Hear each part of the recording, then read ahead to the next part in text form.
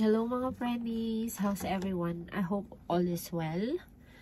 At ngayong araw, may gusto akong matutunan at gusto ko rin i-share sa inyo. Hindi tayo kakanta, hindi tayo tutugtog. Magkakaroon tayo ng muscle reflex. Ang tawag dito. So sa first, second, and third third fret, medyo okay-okay na nakaka-adapt na yung aking mga daliri. Pero from 4, 5, 6, 7, and 8 fret, wala pa, ay, sa 4, okay pa rin. Pero sa 5, 6, 7, and 8 fret, medyo hindi pa talaga siya gan, wala, wala siyang alam. Kaya, sa, ano, uh, preparation na matuto tayo sa paggamit ng, para ma-play natin yung 5, 6, 7, and 8 fret, kailangan natin siyang ihanda. Preparation niya yung muscle reflex. Kasi mahirap siya talaga. Hindi siya ganun. Kasi dito banda, ano siya eh, playing, para siyang sinatawag nilang spider up and down, yung ganun. Pero, as a beginner, nakatulad ko, at kung gusto nyo pong matuto, kailangan natin itong gawin. Pangalanan muna natin yung mga string natin. Dito sa taas, ang tawag dito ay E, E string, but E siya. Dalawa kasi yung E dito, up and down. Sa up, E string, but lower. Pagdating dito sa baba, E string, upper note. Upper yung sa, mataas yung tono niya.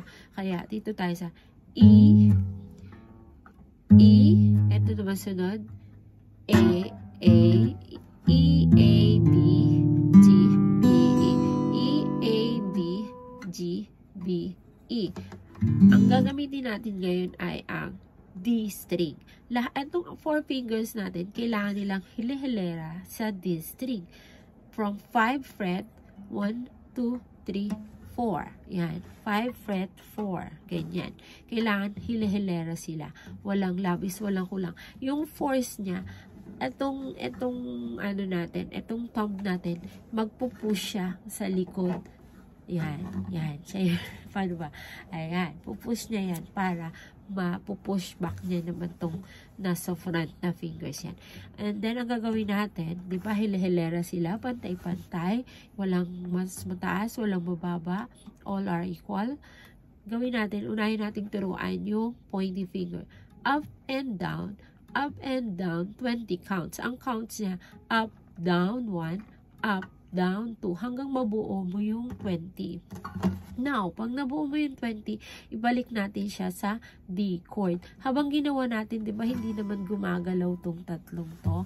Itong tatlong fingers natin, naka-steady lang sila up and down. Yan. Tapos balik na natin. Pag naka-20 ka, balik natin sa D string. Ngayon, yung middle finger naman, up and down. Pero, yung ida-down natin sa middle finger is not to the bottom string na E, kundi sa B string lang. From E to B string, doon lang siya. Up and down, 20 counts. Then, after mo na natapos yung 20 counts, balik natin siya sa D. So, next natin yung finger ng ring finger natin. Up and down. O, oh, di ba? Nak nakita nyo yun? Di ba? Naka-steady yung yung middle finger natin. Pero nung ginalaw natin, ang ring finger, gumalaw din yung middle finger kasi hindi pa sila independent. Kaya kailangan nating gawin tong exercise na to kasi kailangan nilang maging independent to each other but coordinated. Ngayon, dapat matuto silang maging independent. So, hindi pa marunong si, si, ring, si ring finger. Kailangan natin siyang turuan. Up, and down, up and down. Turuan mo siya, tulungan mo siya habang nagtuturo ka, pagtulong yun na may halong pasensya kasi mahirap siya talaga. So, matututo rin yan, don't worry.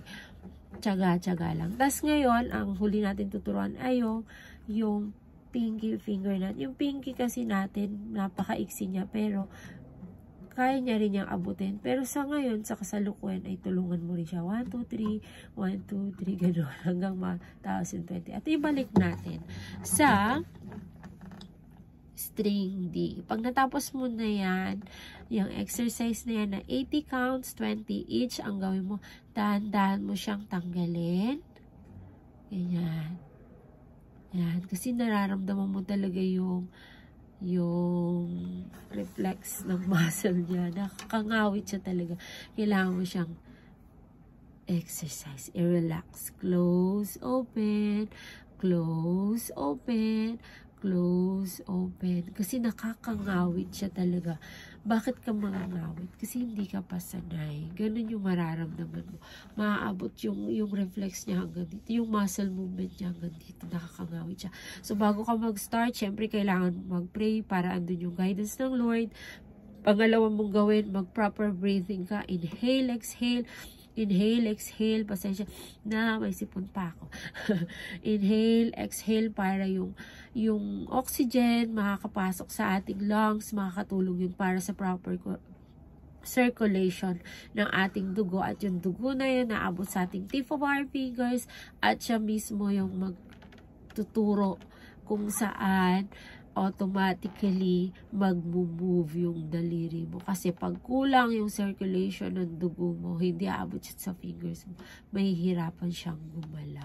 Kaya napaka-importante ng proper breathing, syempre yung prayers at guidance ng ating Panginoon. Nawa sa mga munting bagay na to, makatulong lalo na sa katulad kong beginners at patuloy nyo lang, hindi naman tayo nagmamadali, sabay-sabay tayong matuto.